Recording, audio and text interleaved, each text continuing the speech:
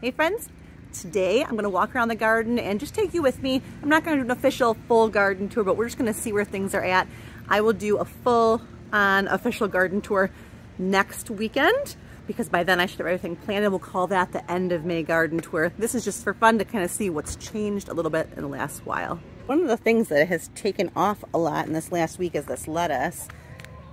It is really starting to get big and heading up a little bit. I'm really excited about that. I'm also excited I've got green onion seed heads starting. Now, how I do this, I've mentioned it before a little bit, but I grow these green onions right here in this patch, and I've got new ones planted. But the ones that are old and that are gonna go to seed, I will save the seed from these seed heads. So looks like I got one, two of them right now. I might get another one. I'll go ahead and put little um, organza bags on top of these and save the seed head. So I have more seed. I'll actually just sprinkle some of it down here too. And that keeps me a perpetual pocket, perpetual pocket of green onions. Kales are getting nice and big. Somebody over here was trying to eat the mustard, but that mustard looks really good. Hey ladies, how's it going? I'll bring a snack in a second. Here is the leaf lettuce starting to really take off. This will grow really fast now that the warmer temps are coming up. You'll be surprised how fast I get leaf lettuce off of that. Here's this corner over here that I redid last week. Everything in here looks just fine. I was a little worried about these cosmos transplant shocking, but they're doing fine. So we're the ones back here. My puppy keeps digging everywhere else. I'm gonna have to get some mulch on this bed to keep her from getting into trouble. Look, we have strawberry flowers. Hey, pretty girl. These are alpine strawberries in these blocks. And they're pretty much just here for Ava to come out and pick. Here's the staging center with all the tomatoes. My sister came and got her tomatoes and peppers. My sister-in-law's coming today or tomorrow to get hers. And I'm gonna put mine in the ground this week. Isn't that exciting? So got a staging area mess going on over here. This is the part of gardening that my husband likes the least. He gets very annoyed when my stuff is everywhere, which is the case right now. But these guys are going to homes. Those are my peppers that I'm gonna plant. Got some stuff here that I'm gonna plant. Oh, the ranunculus look good. This is really starting to take off in here too. There's some more alpine strawberries. Oop, there's a flower right there. Those are some of those cauliflower. They look really good. The celery looks really good. Oh, wait, do you see the spinach? The spinach looks amazing. Oh, but first, look over here. This is what I thought was some kind of lily or something, and apparently it's a wild onion. I'm gonna get stuff right there. And then back here, my broccoli has bolted. All three of those ones on the end bolted. I think I've only got two plants left that did not bolt. So the chickens will end up getting those. Bummer. The driveway is looking amazing. Look at look at these peas. Look how huge they are. I gotta back up a little. They're doing really, really good. They've just taken off. Same thing with these kohlrabi. They've doubled, tripled in size maybe. Now, the one thing I'm having problems with is I did lose some tomatoes. So I've got a cherry tomato there. Well, there used to be one there and there and there and something came and ate them. Oh, it ate the one back there too. All right, so now I've only got one cherry tomato over here. And then we'll look at the other side in a minute. Oh, look at guys. Hi. It's kind of early for you to be button already, isn't it? That's my geranium. Nice. But look at the spinach bed. Oh, I'm going to come in here and harvest spinach is what I'm going to do. And these radishes, look at You see this little baby radish? Hey, honey. Oh, I could probably almost come in here and harvest these pretty soon. Well, that's fun. So the radishes look amazing. The spinach looks really good. It's really full over in this area. I'm gonna come through and what I'm gonna do is I'm going to harvest leaves off. Oh, you can't live here, little lamb's quarter. Um, lamb's quarter is one of the worst weeds in my yard. It is edible, but I don't want it here. Ugh, so good. Here's some more radishes that look like they're getting kind of, oh, they're not too big. Their leaves are big. And then I have these random sunflower volunteers in here. And this is a calendula volunteer. sunflower, sunflower, sunflowers. Now this bed is pretty short. I don't know if sunflowers are going to get the root system they need to actually flower in here, but I like a good experiment, so let's see what happens, guys. Oh, this is amazing looking. Oh, look at the sneaky lamb's quarter. I told you. You cannot live here. This is spinach home. How insane these chicks and hens are. Look how many of those are popping out. So all I'll do is go along through here and pull them out and pop them in other places. Not right now, I'm not going to. I even got some red ones. Yeah, isn't that beautiful? I love it so much. Look here, no cherry tomatoes. What in the heck would come? And it's not that they're dead and missing. They're just totally gone. Something came and dug up and took my cherry tomato plants. Didn't touch the peas, didn't touch the kohlrabi, just went in and took the entire thing. I wonder if it was roly-poly bugs.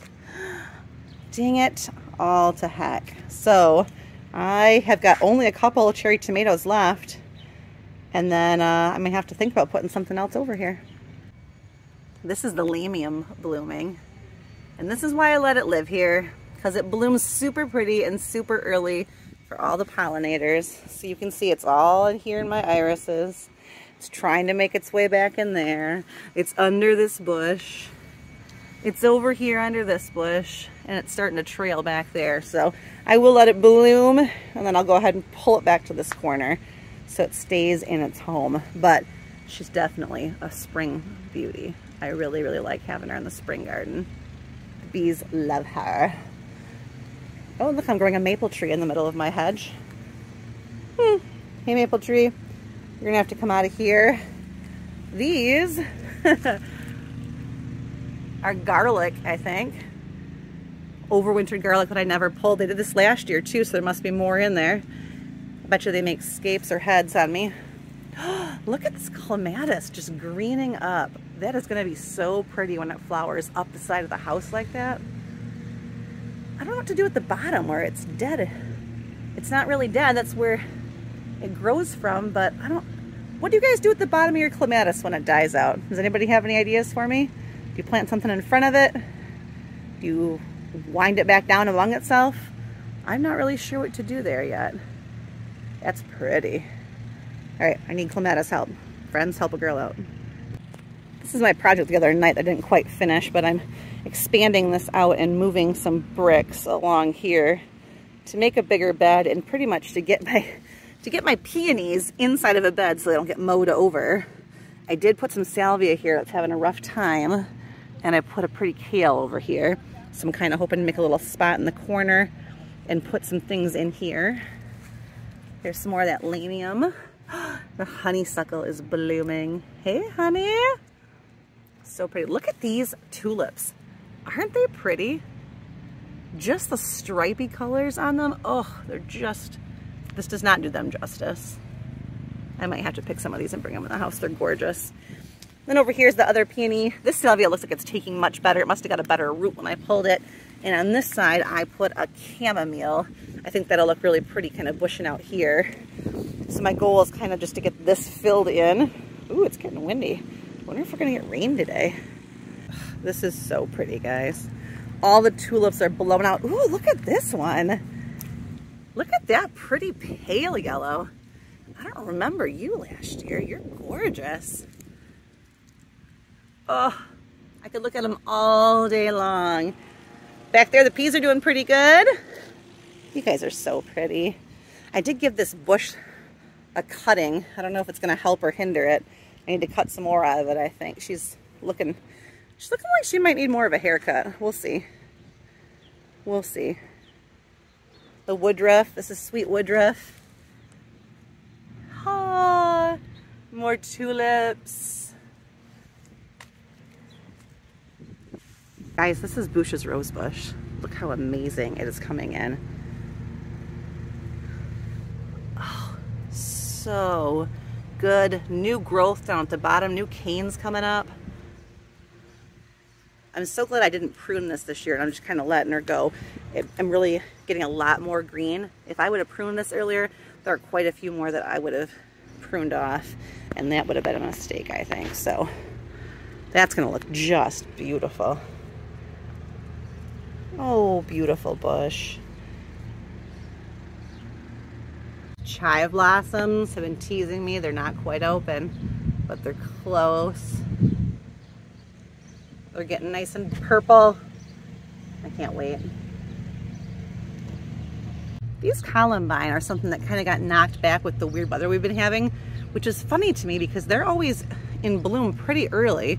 And I'm actually surprised that the weather, the only thing I can think of is that maybe that heat followed by that cold has kind of got them confused with what they're supposed to be doing.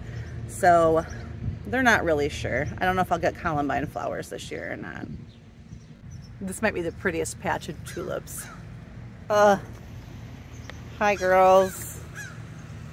Just nice, simple, striking, hot pink all in a row. You guys look lovely. I think I've mentioned a time or 20 how much I love volunteer plants. This is a crack in the sidewalk. Do you see this? A crack in the sidewalk. And these snapdragons just fell in there and are growing. Same thing down here. Look at, just cracks in the sidewalk. Look at them all. They're all gonna grow. Look how many more I got down here. Those are all baby snapdragons. How many snapdragons am I gonna have here growing out of this cement? Nature is awesome. This experiment I got going over here on the fence with the um, Brussels sprouts has got me interested. Things are starting to grow in. That one looks really good. This one looks really good. Maybe this is going to be something that I do a lot more. I'm not sure. There's a lot of things coming up here. You see them all? That one looks amazing. Oh goodness. This grass, this is that um, Star of Bethlehem. It doesn't last into the summer, so it's already starting to turn. It will go, I'll have to go ahead and pull that out maybe in another, probably another two weeks. I would say. Before June, it'll be gone. There's another Brussels. Yeah, see how that grass is starting to turn? Some more tulips. Here's some more of those pretty red and white ones. Those are so pretty. Oh, and look at this showstopper down here.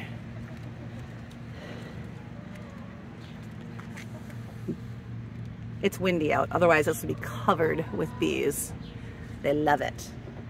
Now, don't ask me what it's called because here's what I want to say it's called. I want to say it's called Lady's Mantle, but I feel like I might be wrong.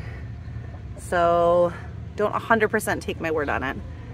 But she gorgeous. This one's another one that blooms just in the spring and then it'll be just this really pretty green cover for the rest of the season. We got onions. Not the ones I grew, but set onions, and I will take it. An onion is an onion, right? You see those tulips moving? See how windy it is? Mother Nature's not sure what she wants to do. She keeps throwing some sunshine out, and then she keeps putting it behind the clouds. It gets windy, then it gets beautiful. We're not sure what's happening today, but I have a lot of things going on. Our son is going to prom tonight. So we're gonna try and get the house and the yard cleaned up and then get ourselves cleaned up and go take some pictures and go out to dinner and yeah, just have a good time. All right, guys, I hope you have a great day. Hope you enjoyed this sneak peek at the garden, and I will be back tomorrow.